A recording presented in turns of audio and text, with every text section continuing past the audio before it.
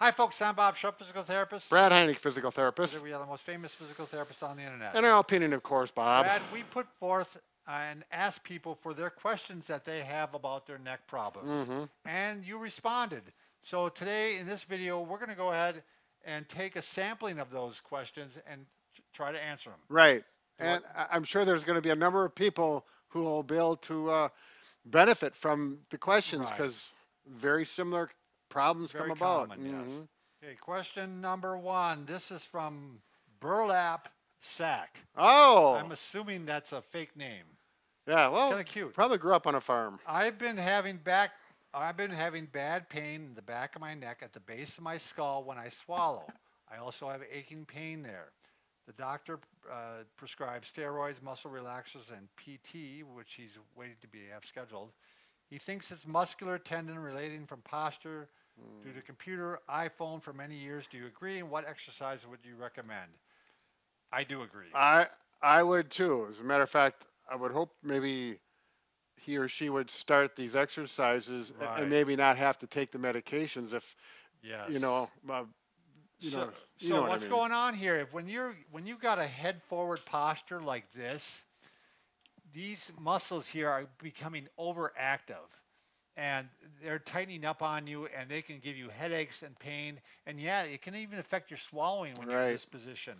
So what we want to do, first off, if you're working at the computer a lot, I want to make sure your screen is high enough because if you've got a laptop and you're Yeah. down like this, you're going to have that posture all day long. Right. So you need to have a separate screen. Yep, get a if you're going to use your laptop, I highly recommend that you get a wireless keyboard. Yes. And then raise up your laptop to a, a level so that when you're good posture, the key uh, the, the screen is about level with your eyeballs and you're not going to achieve that unless you get a separate keyboard. Exactly. When you're using your phone, don't be going down like this. Mm-hmm.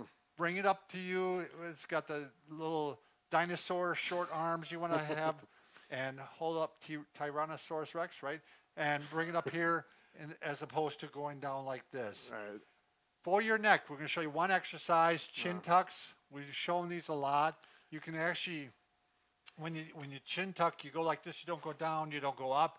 You can actually even take your hand and push it a little bit and give it a little bit of overpressure. But before you even attempt the chin tuck, adjust your posture, get and posture then you really have to. It's that nice to have an upright chair. You could even lean back into it and perform them that way as well. But if, if you're slouched and do a chin tuck, it will not be effective. You have to be up. The final thing we're going to say is just do some self massage to that area. So you can go ahead and do some circles with your fingertips. And you also can do what we call spline massage, where you bring your fingertips together and you pull them apart. That often works really well to help relieve the pain. Uh, what happens with this though is once it gets fired up, sometimes it, it's hard to calm it down. So you want to have the good posture so it doesn't fire up in the first place. Yep. All right. Good luck. Next question. Um, I wake up every day with stiffness and a headache. What should I do? This is from Mary Ann H. Mary Ann. like Mary Ann, nice to meet you. Gilligan's Island. Mary Ann. Oh, Bob. Bob. Bob, why, Bob, All right. why? If you're waking up with a headache, there's two things that are possibly going on. One, it might be the position of your neck at night when you're sleeping. Right. So that's the things we're going to address. It's also possible you're doing things through the day that are irritating, and it gets so irritated it goes into the night. But we're going to assume that we can try to do something about Right. this. Changing your posture, as we mentioned, is you got to try these things, and uh, there's a probably good chance they're going to alleviate the problem. Sure. So first off, no sleeping on your stomach. If you sleep on your stomach, your head is turned all the way into one direction all night long, or the other direction all night long. The neck doesn't like that, and that often causes headaches. I- Sure. I, went to a course, Brad, where we kind of polled the audience, Right. and everybody who slept that way, every one of them had headaches. It was crazy. Right. I, I was surprised that, Sure. that slept that way on a regular basis. The other thing, let's say you sleep on your back. You want to have the neck in always what we call neutral posture. You don't want to breathe forward like this. So if you use too many pillows sleeping on your back, look how my head is forward like this. Yeah, that's definitely not good posture. Right. So I, what I want to do is, you want to pull one out, Brad? You bet. I want to be like this. Now my ears are lined up with my shoulder. My neck's all lined up. There's no extra stress on it. Uh, conversely, now let's say I sleep on my side. Here I do want to have two pillows because look what's happening. My head, heck's all bent, kitty wampus all night long. So Yeah, that's a good kitty. We have no kitty wampus next. okay, my that sound's gonna get all screwed Yeah, up here. yeah. So here again, I'm lined up all in one. The spines all lined up in one shot. I'm going to show you one more thing here. Um, you can actually take a rolled towel Yep. and put it in the pillow, and it can fill in that gap where the neck is. If you're if you're side sleeper as well as a stomach sleeper. Oh, so find the opening there. so huh? we have this towel roll, and we're just gonna. we had taped it just so that it would stay rolled. Yep. You can buy cushions that are made to put in like this. Right. Um, but I, you know, the, this works. Uh, if this works, well, you may want to get a cushion because they are a little more comfortable than a towel. Yeah, But- this is a good start, I think. Yep. See, now here, this fills in the gap when I lay on my side. So I'm like this. If I use two pillows, it it fills in that gap. But lay, if I lay on my back too, it fills in that gap. So Right, It, yep. it might give you a little more support that you weren't getting, uh, and and that's possibly causing Right. your headaches. Those are the things I would start off with first and try. Right. And, and if you know you sleep mostly on one side, you know, address it as we talked about. If you are tossing and turning all, all night long, those are a little more challenging to address, but at least gives you some idea of, of good sleeping head posture. If you're turning and tossing a lot, I think it's because you're uncomfortable a lot. Quite too. Well, that's a good point. Yeah. Yeah. it might be a mattress issue, but that's a, that's another story. All right. The question is I'm a huge fan of yours, and many of your exercises help me with my back pain. I have neck hump, so I want to mm. know if it's possible to get rid of it completely. Thank you. This is from Gangina Mm. N. I'm glad I don't have to say the last name because I had trouble with the first N as in Nancy. Not a Nancy, but yes, N is a Nancy. but it's not Nancy. It's not Nancy. Okay. So, anyways, neck hump. So that's like dowager's hump. Sure. So So, what we're trying to do is get, get rid of that hump right at the base of the neck. And the best way we have found is that you apply some type of prolonged stretch to it. Although, even before that, just the person needs to address their posture Right. on a regular basis. Because if you have neck hump and you have poor posture with your phone, uh, driving, computer, it's just Well, accelerating was, it. It was caused by poor posture, the neck hump. Do you know what I mean? It, it came Right. about because of it. Yeah. But this'll- it could be genetic, possibly. bit. Yeah. I, I think um, by doing these things, it helps correct your posture too mm-hmm. by, by stretching. So right, right. You're going to need something. You're going to need like a tennis ball, maybe a sock if you're just starting off, a rolled up sock because it's going to be a little bit aggressive on that Right. if you haven't done this before. Right. We have a video specifically on a a sock. I can't remember yes. what the title, if it's the sock is in the title or not. Yes, sock is in the title. But if you Google Brad neck hump, yeah, neck it'll- hump and sock. it'll I'll come up. It. Um, this is the uh, back pod. Um, this is pricey, but Brad and I both really like this. I mean, this is what I use every day. if you find that this helps or the tennis ball helps and it's working good, that would be a good That- purchase. That's right. I would definitely start with these. Right. So what we're gonna do, Brad, if you don't mind turning around once, I'm just gonna show. So what you're gonna do is you're gonna lie on, lay on this ball, or you're gonna put it up against the wall, one of the two. And but you don't put it right on the spine. That's where the hump is, right here. Mm-hmm. You put it on one side or the other, and you're gonna work your way. You're gonna put it here for maybe 30 seconds, here for 30 seconds, here for 30, 30, 30, 30. Now that, that's three minutes total, and you got the whole area there, and it's all stretched out. Yeah, and you do this, you know, start with a sock. Yeah, start with the rolled up sock. 'cause It's going to be easier on you. Uh, we'll show this in just a minute here. Again, you could do it up against the wall. Um, ideally, if you could tolerate lying down right away, I would go ahead and lie down right away. Do not do it on a bed. It's too soft. It's Yeah. not going to work. You have to go on a carpeted floor uh, unless you happen to have a firm table or something you can lay Do on. you want to go ahead and do one, Brad? Sure. Should we do it on the Yeah, do it on here. I mean, we, we wouldn't do it on here, but just so you could see what he's doing. Right. Yeah, it'll work out well with the color here. But yep. So I'm imagine I'm on the floor, carpeted floor. I'm going to lay down, and usually what I do is I kind of get to the point where I, I can feel where it is and I know where to start. I'll usually start high, just between the shoulder blade and the spine and that muscle group, and you can just lay on there. You can go back and forth, typically up and down. You want to go right to left doesn't work so good because your shoulder blade may get pinched in there. And that's up to you. If you want to just hold it, like right now, I'm, I'm right on that muscle. It- It's one of those hurt so good kind of a feeling I'm getting. Or you can do a rolling, 30 seconds, and then you just kind of roll up and go up. to a different spot. But Right. Brad, I often do the bring the Oh, arms good. up. Yeah, Yeah, that's a good point, yeah, Bob. Bring the arms overhead like this and Yeah. stretch it that way, and take deep breaths. Right, really yeah. makes a big difference. Yeah, good point, Bob. I don't know why I was. I, I must have camera shy, shyness right now. I'm forgetting things. Um, sometimes when I'm using that, I'll it's that's a little higher. I only can go up and down with one side because this Right. one's helping me balance a little bit. So you go up the right side, right side, and then the left side. side. It's interesting, you know. I both Brad and I like when you first started this, you couldn't tolerate this. Sometimes you have to put a pillow on it. Uh, Right. both of us now, when we use it, we can l- lie on it without any difficulty. Exactly. It, it really, Right. I really think it's made a big difference in my posture. But again, depending on how bad your back hump hump or neck hump is, it, it may take a while to get to that point. You Right. may have to stick with the sock. For a while. Exactly. Yeah. So- You'll see this is actually designed for costochondritis, which I, I do have, so I use it for that too. But it works. The posture, posture, the same thing. Uh, more of a curiosity question. What is Hmm. happening when you make a quick, sudden movement with your neck, especially when lying down, and it feels like electrical current or vibration for a second? This is by Cynthia, and then she has two last names, or middle name and last name, G.S. Good. Cynthia. Cynthia. All right, Yeah, Cynthia. Can we call you Cindy? I'm- No, no, it's Cynthia. don't- We're going to okay, be Cynthia. We better be formal. All right. So luckily for you, this happens to me, or has happened to me in the past. it's funny. It is a little bit scary.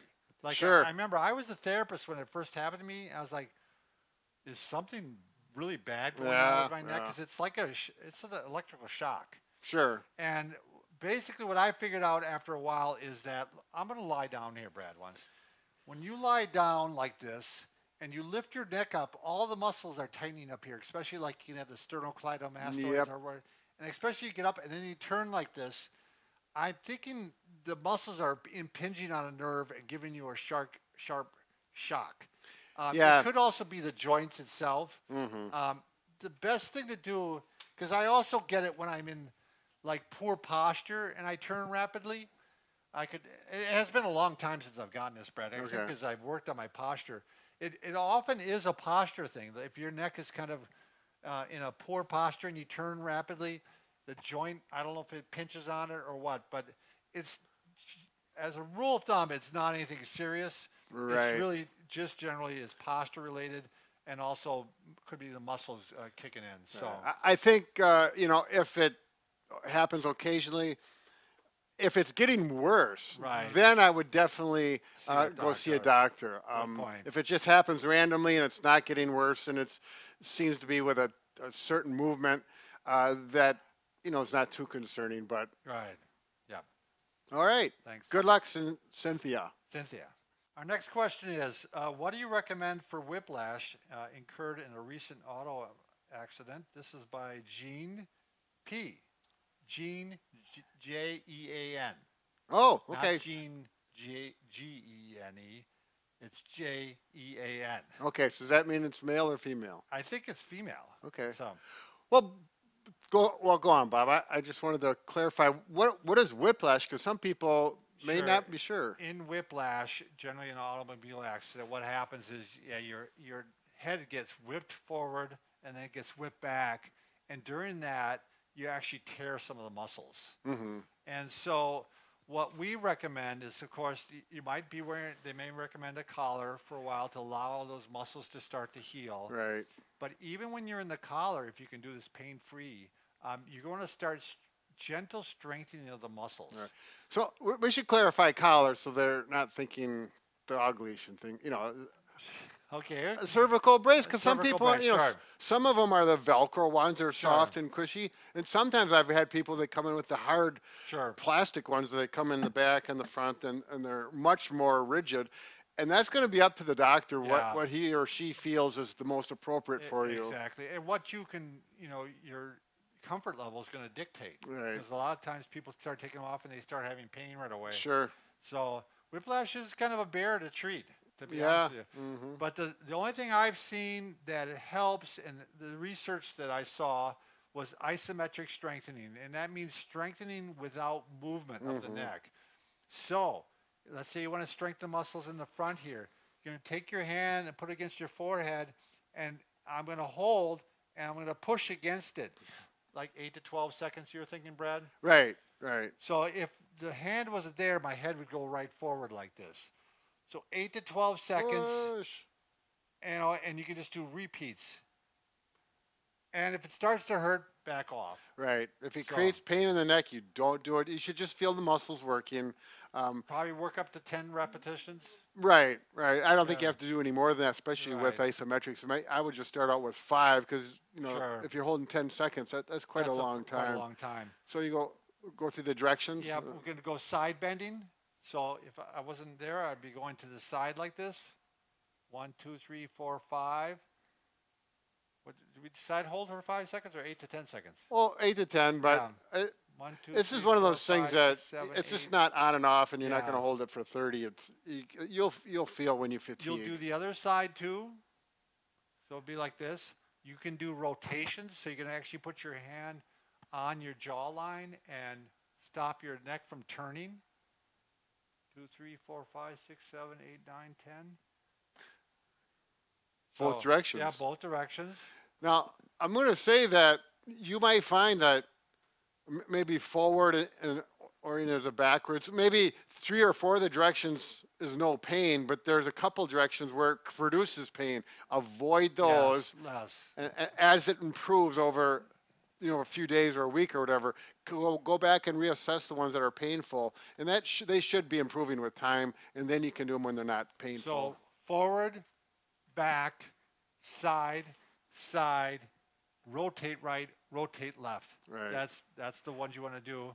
You can do it up, you know, a couple times a day, even if you want to, because these are postural muscles, and, Right. and you're not doing overly strengthening them when you're doing the isometric like that. Right. So again, yeah, give it a try. pain free, and, and uh, good luck with it, please. All right, the question is how to tell muscular pain from structural issues. And this had a lot of people's interest, by the way. A lot of people want to know the answer Sure. this. Uh, this question was posed by Wendy A. Hello, Wendy.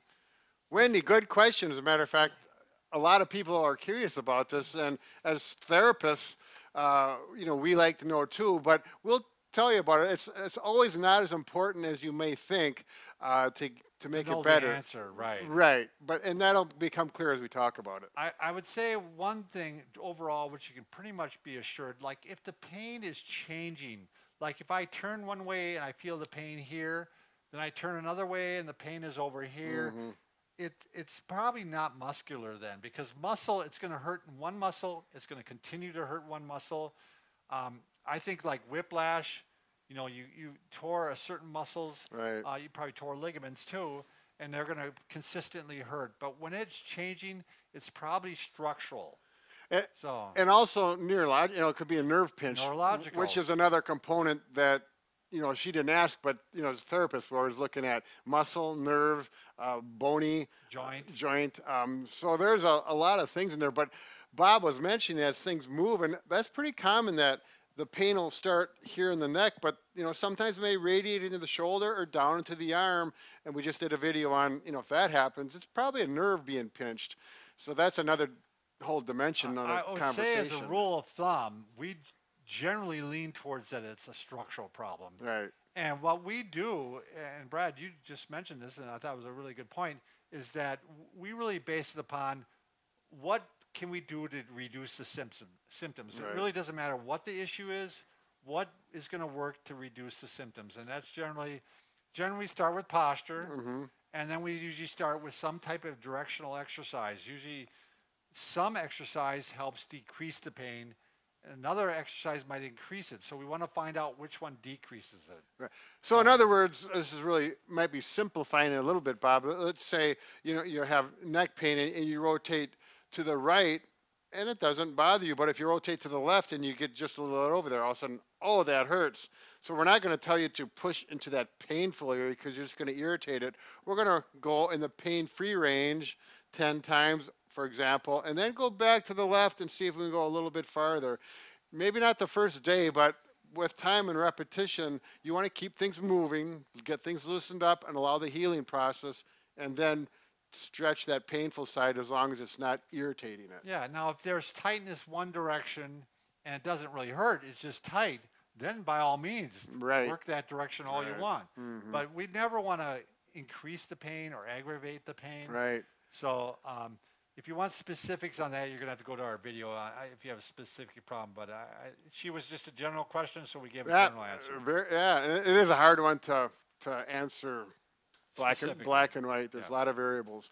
Thank you, Wendy. Good question. Thanks. All right, the question is I have arthritis in my neck, C5 to C7. I find that when I do stretches, it gets irritated. Should I stretch anyway to be able to keep my range of motion? Uh, stretches and exercise can easily trigger or even increase my pain. Any ideas on a good therapeutic balance? Um, this is by Patty G.W. Mm. Thought, yeah, Patty. Patty. P A T T I. I, okay. Yeah, All right, Patty. Good, good Uh, yeah, question. good question. Mhm. So, Brad and I, funny, we were just kind of a discussion on this. One rule of thumb is that if there is a direction that irritates it, try just doing the, the, the direction that doesn't irritate it. Sure. Maybe there's not a direction that doesn't irritate it for you. I don't know. And then we have an option for that We too. We have an option for that too. The other thing is you've got to be in really good posture when you're doing your range of motion. Good point, Bob. You don't want to be like this and then working on turning and going like this.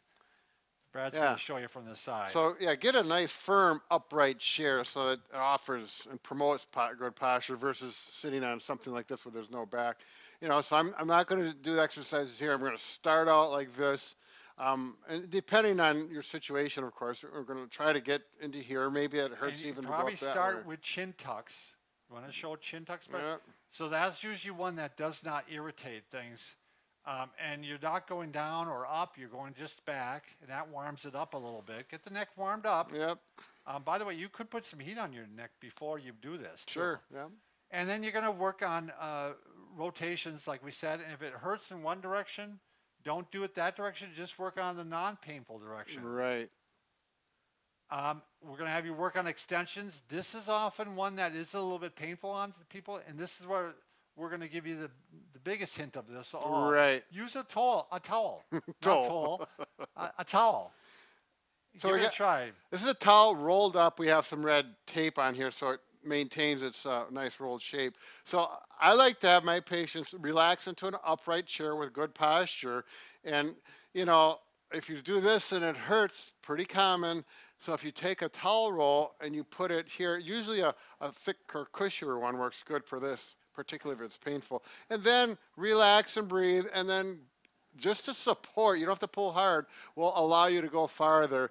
Just go until you start to feel the pain. Don't push into the pain by any means. Don't get irritated. Yeah, irritated. just go back, and you'll find you'll, you'll probably be amazed that if you gently stretch into it ten times, give it a break, see how it feels, and if it doesn't get inflamed or sore from that, you know, in a few hours you can try that again. And within a few days, you may be amazed at how much better your range of motion is if you go appro- approach it real cautiously. Use the towel roll. Uh, do- Bob, are we going to show the rotation? yeah. Do you want to show the rotations, or should I show with this sheet here? I can do. Well, do we either. we can do it both. Yeah, we can do it both. profile and uh, and So straight on. This is probably a little bit too much of a sheet here, but what you're going to do is you're going to use that same towel, and if I'm going to go to the right, I'm going to actually. I, I like to switch hands. so do I. So I switch hands like this, and now it's easily to pull it across like this, and you try to keep your shoulders back, and you're just going to gives you some nice support while you're doing these gentle rotations. So again, another way to do it. Then you just switch the other way. We're going to hit our mics on this one. Yep. But you switch your hands and pull across like that. It's amazing what the towel around the neck like this, uh, you know, patients will say, boy, that, that really does feel better. You can go a little farther with less pain, uh, and it works out well." It's like a hug around your neck. It is, yeah, very nice. All right, I hope that helps. Good luck.